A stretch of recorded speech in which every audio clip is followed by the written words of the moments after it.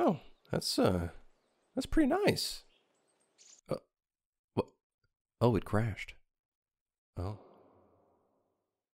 Good morning, good afternoon, and good evening, ladies and gentlemen. Welcome to Creating Crimson's Fantasy, a new series focused on presenting the joy of game development for everyone, not just game devs.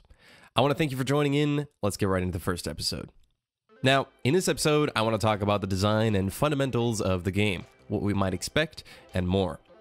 Before starting off this episode, I went ahead and started a new Google Drive folder and created a game design document.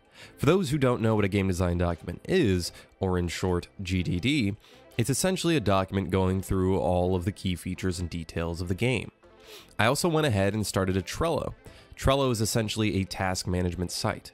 I'll be using it as a roadmap to track the project's progress. Both of these will be publicly accessible by the community.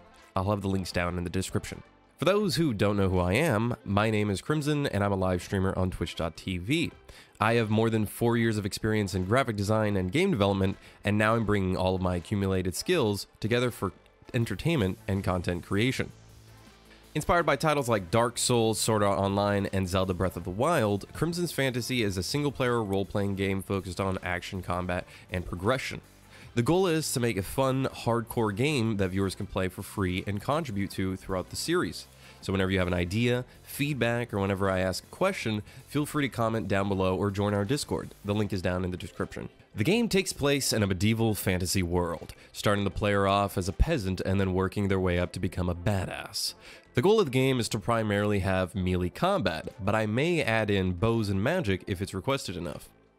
The player finds themselves stranded on an island with nothing to their disposal. The player will slowly explore and find their way to a village, which will become their main hub. The hub will play a big part in the gameplay and story. The player will be able to find quests, merchants, and more. They'll even be able to upgrade the village and its inhabitants.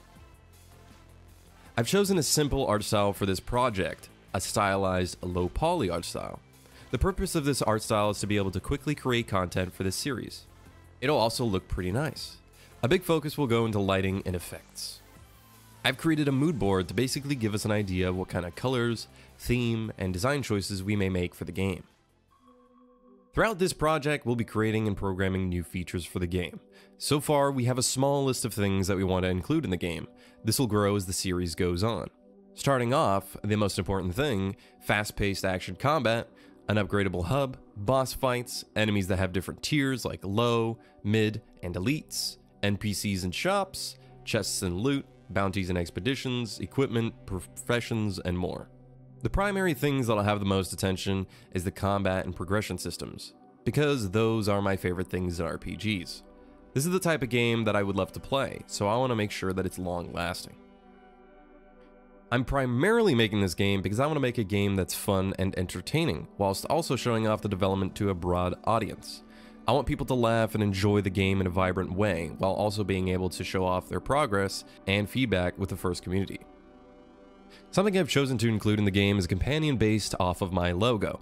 Uh, for those who can't tell, that's a raccoon.